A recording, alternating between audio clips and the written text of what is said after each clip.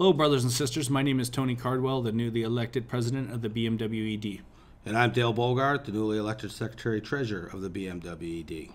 We're going to keep this video short. Um, our intention is to talk to you guys and inform you of upcoming town hall meetings.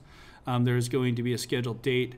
They are starting this week, and we're going to have specific calls for each property to talk to you guys about the issues uh, concerning the TA.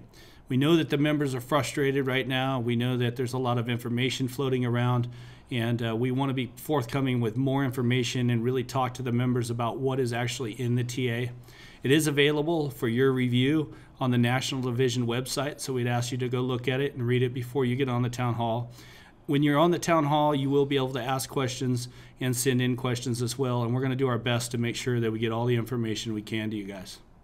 We have heard a lot from you. President Cardwell has heard from you. I have heard from you. We would look forward to additional participation from the membership on this very important issue, and we certainly hope you can join us uh, for the scheduled meetings. Thank you.